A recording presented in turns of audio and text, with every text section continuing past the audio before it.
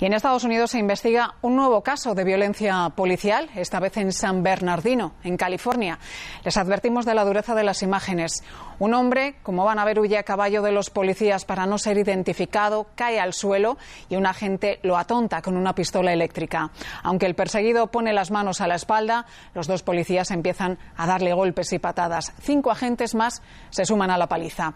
Una cadena de Estados Unidos graba la secuencia desde un helicóptero. Tardaron 45 minutos en llevar al agredido al hospital. Se desconoce su estado.